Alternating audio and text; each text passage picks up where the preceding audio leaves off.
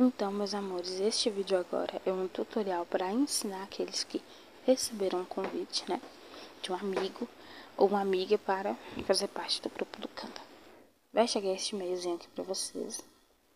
Vocês vão clicar em cima e vai estar escrito o seguinte.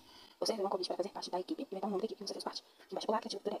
É, convidou você para... Olá, criativo é uma.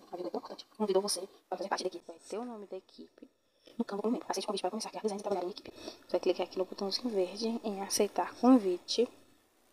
O Canva está abrindo, porque, como vocês estão vendo lá em cima, a internet está né, naquela de que eu quero trabalhar, mas eu não tô afim. Quero trabalhar, eu não tô afim. Tipo assim, entendeu? E quando abrir o seu Canva, vai aparecer aqui o convite. Você foi convidado para fazer parte de... Vai ter o nome da equipe na frente.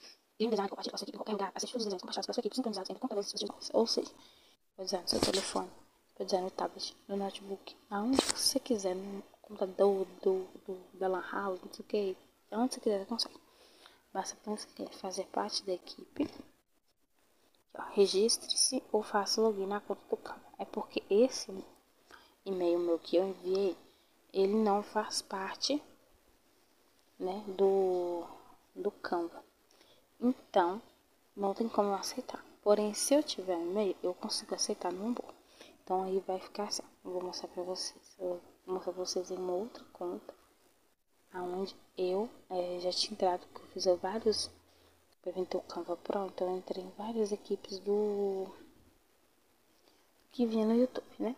Aí eu já tô aqui logado em, Eu já tô, né? Dentro de uma equipe que eu, tinha, que eu participava no Canva Pro. Aí você vai clicar em cima, que é equipe.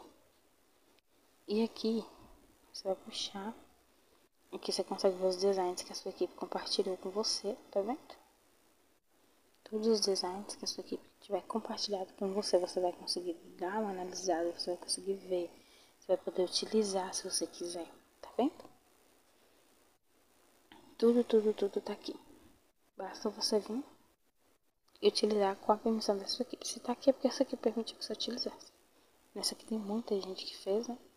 Vai puxar pro lado vai vir pessoas pessoas, você vai achar vários nomes, né?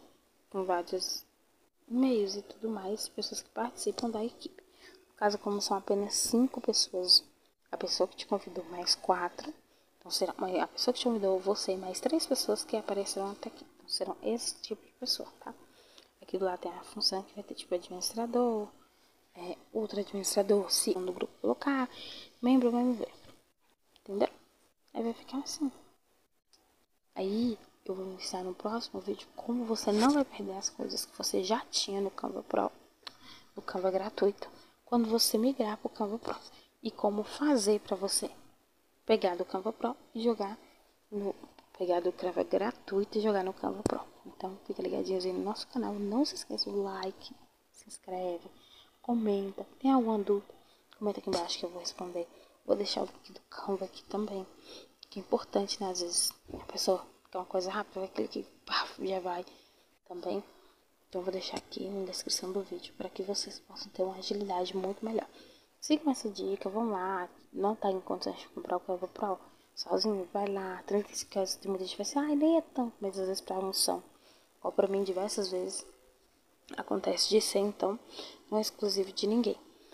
Vai lá, chama uma equipe, não custa nada. Dividir, gente, dividir é tão legal que você, além de ajudar outras pessoas, você ainda vai pagar mais barato. A pessoa vai pagar mais barato, todo mundo vai ser feliz. Então siga minha dica beijo, até depois.